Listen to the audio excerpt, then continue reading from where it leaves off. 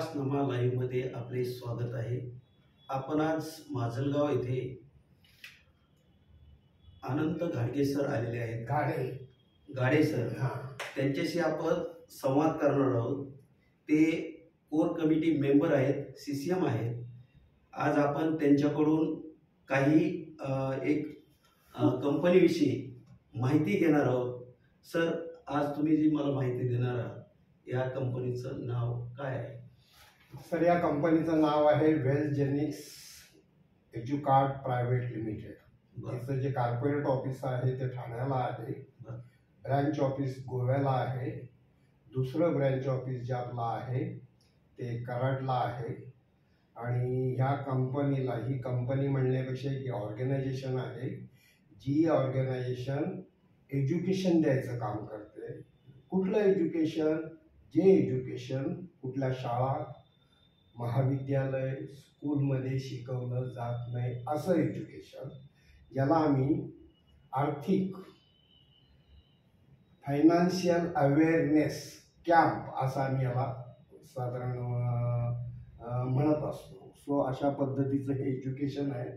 जे एज्युकेशन या ऑर्गनायझचं म्हणणं आहे घराघरात पोचलं पाहिजे. आणि हे नेमकं एज्युकेशन काय आहे? फायनान्शियल एज्युकेशन काय आहे? जे काही शेअर मार्केट केलं जातं त्या शेअर मार्केटच्या अनुषंगाने हा एज्युकेशन आहे. या ऑर्गनायझचं म्हणणं आहे की हे एज्युकेशन प्रत्येक घरामध्ये पोचलं पाहिजे आणि प्रत्येक घरातल्या प्रत्येक व्यक्तीने हे एज्युकेशन घेतलं पाहिजे आणि पैसे कमवले पाहिजे. हा उद्देश आहे या कंपनीचा बरं. हे जे आहे आतापर्यंत या आपण म्हणजे कुठं कुठं आणि किती या ठिकाणी मी सर माझा थोडासा सेल्फ एक्सपिरियन्स शेअर केला तर बऱ्याचशा गोष्टी तुमच्या लक्षात येतील. माझं नाव Anand Gade ex officer government of Maharashtra employment डिपार्टमेंटला मी एकोणतीस वर्षे सात महिने सोळा दिवस जॉब केलेला आहे. जॉब करत असताना जनरली जॉब करणारा प्रत्येक व्यक्ती विचार काय करतो? एकदा जॉब लागला की तो झापडं लावतो. बरोबर आहे? आणि आपला चाकोरीबद्दल जीवन सुरुवात करतो. माझ्या वयाची अशीच पन्नास वर्ष माझ्या डोळ्यासमोरून निघून गेली. जॉब करत राहिलो. जॉब करता करता लक्षात आलं नोकरी it's a no career only bread and butter हे मला समजायला माझ्या वयाची पन्नास वर्ष मला द्यावी लागली. म्हणून आज मी तरुणांच्या समोर हे व्यक्त होताना सांगतो को बाबांनो जॉब बरोबर एक बॅकअप इन्कम असणं फार आवश्यक आहे. तो जर बॅकअप इन्कम असेल तर तुम्ही अतिशय चांगलं लाईफ जगू शकता. आणि या अनुषंगाने मी आज मार्केटमध्ये उतरलेला आहे. मी वयाच्या पन्नासव्या वर्षी माझा जॉब रिझाईन केला. मी फुल टाईम व्यवसायात आलो. मला कळलं की नोकरीपेक्षा व्यवसाय चांगला म्हणून एकापेक्षा अनेक व्यवसाय केले. आणि शेवटी शेवटी माझं कॅटल फीड पशुखाद्य हा व्यवसाय होता. गोडाऊन होतं माझा कोल्हापूरला. आणि अतिशय चांगल्या पद्धतीने ते रन होत होतं. पण अचानक बावीस मार्च दोन हजार वीसला लॉकडाऊन लागला. आणि लॉकडाऊननी सगळ्यांना जेवढे पण धंदे वगैरे त्यांना घरचा रस्ता लागला. आणि अशा स्थितीमध्ये मी घरी जाऊ शकत नव्हतो. कारण अचानक गाड्या घोड्या बंद झाल्या. मी कोल्हापुरात त्यावेळेला हा व्यवसाय करत होतो आणि माझं कुटुंब मुंबईत होतं. मी घरी पण जाऊ शकत नव्हतो. मी अडकून गेलो. मी पूर्ण लॉकडाऊन मी कोल्हापुरात होतो. बावीस मार्च गेलं बावीस एप्रिल गेलं आणि बावीस मेला एक माझे मित्र अगदी ते तुमच्याच क्षेत्रामधले. ज्यांचं नाव आहे कुमार मेटांगे स्वतः पत्रकारिता करतात तुमच्याच फील्डमधून आहे. जर्नलिस्ट आहेत स्वतःचे बुक्स आहेत मार्केटमध्ये फेमस बुक्स आहेत स्वतःचे अल्बम्स आहेत कवन करतात. एक अल्बम बाळासाहेब ठाकरे यांच्या त्यांचं उद्घाटन झालेलं आहे. आणि ज्या अल्बममधली गाणी रवींद्र साठे आणि स्वप्नील बांदोडकर सारख्या गायकांनी गायले अशा एका व्यक्तिमत्वाचा बावीस मे दोन हजार वीसला मला कॉल आला. आणि त्या कॉलवर आमची साधक बाधक चर्चा झाली आणि साधक बाधक चर्चेनंतर त्यांनी मुद्द्याला हात घातला आणि समोरून ते मला म्हणाले की सर एक अपॉर्च्युनिटी आहे. काय म्हणाले?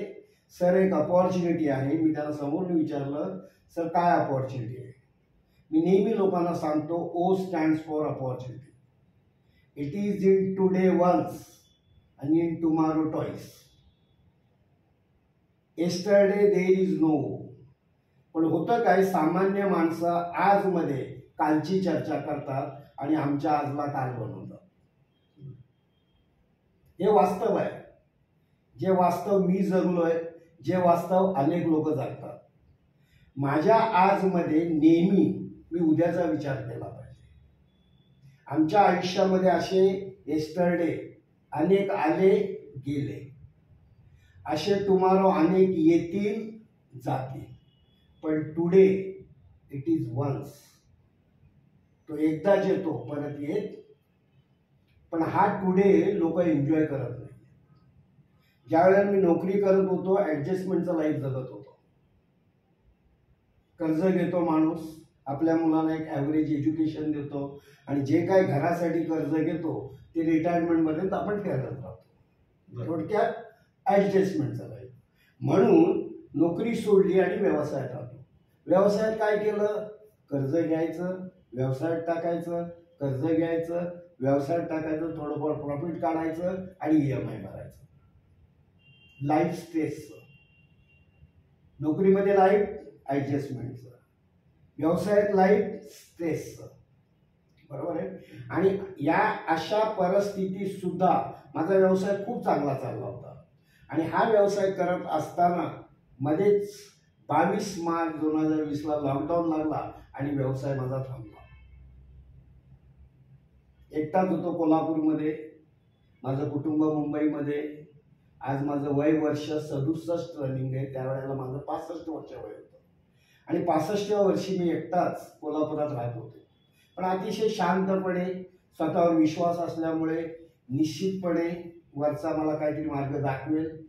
या मार्गा या विचाराने मी प्रभावित होऊन होतो त्यामुळे मला लॉकडाऊनची बिलकुल भीती वाटली पूर्ण लॉकडाऊन मी तिथे होतो. बावीस मार्च गेला बावीस एप्रिल गेला आणि बावीस मेला माझ्या मित्राचा कॉल आला जे मी तुम्हाला आता सांगितलं जर्नॅलिस्ट होते. आणि त्यांनी ही मला अपॉर्च्युनिटी सांगितली. काय अपॉर्च्युनिटी त्यांनी मला समोरून सांगितलं सर अपॉर्च्युनिटी आहे. मी म्हटलं काय अपॉर्च्युनिटी आहे तर त्यांनी मला सांगितलं शिकावं लागेल. माझं वय वर्ष पं पासष्ट. काय उत्तर गेलं पाहिजे सर? पासष्ट वर्षाच्या एजच्या माणसाला एक तरुण म्हणतोय अपॉर्च्युनिटी आहे पण शिकावं लागेल. काय उत्तर जायला पाहिजे? जनरल उत्तर हे जातं की हे वय शिकायचं आहे का? राईट? पण मी तसं उत्तर नाही दिलं. मी त्यांना प्रतिप्रश्न केला सर मी शिकू शकतो का? ही सेट म्हणूनच सर तुम्हाला मी कॉल केलाय. तुम्ही ते करू शकता.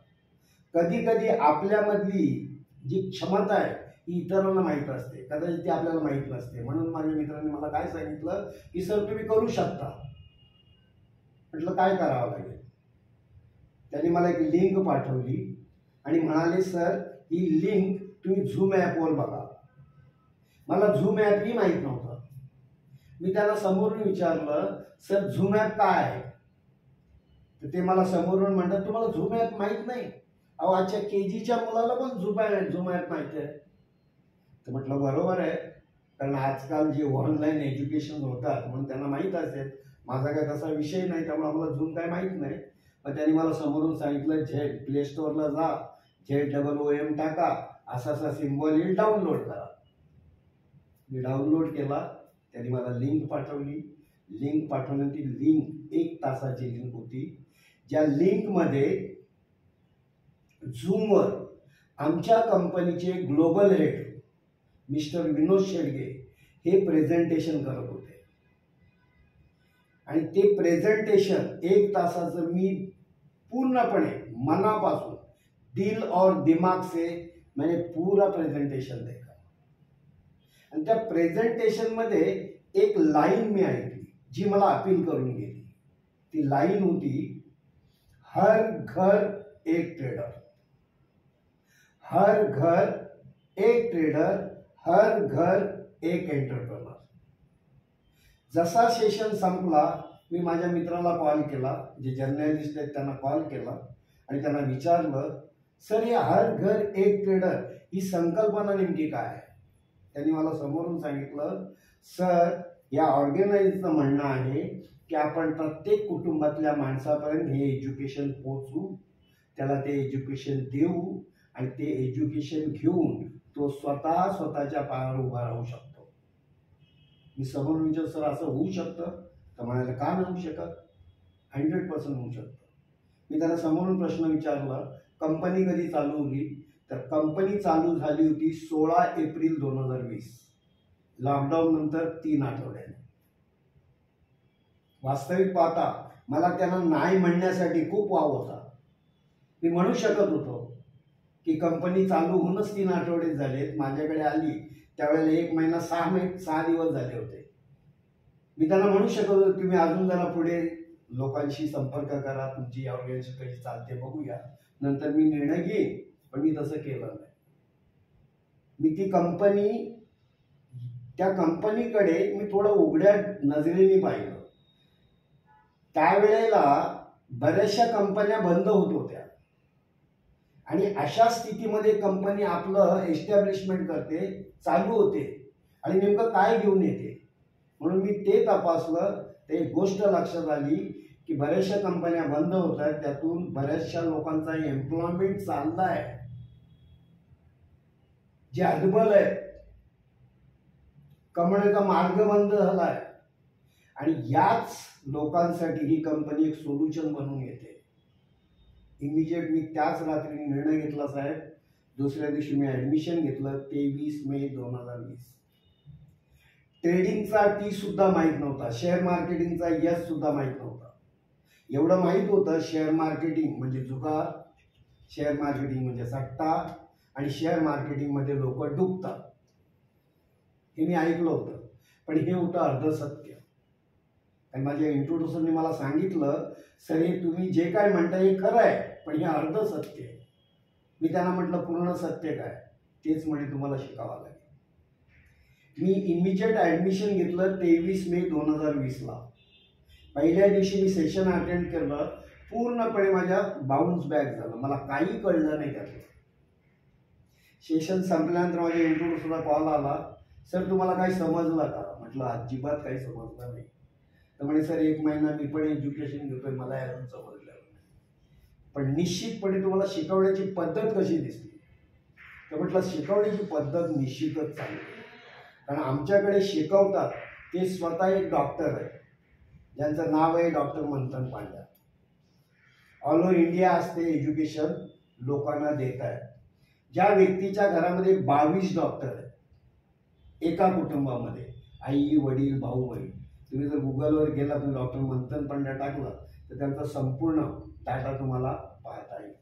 आणि एक डॉक्टर लेवलचा माणूस हे एज्युकेशन घेऊन आज सर्वांना शिकवतो. शिकवण्याची पद्धत आपण लहान मुलाला गिरव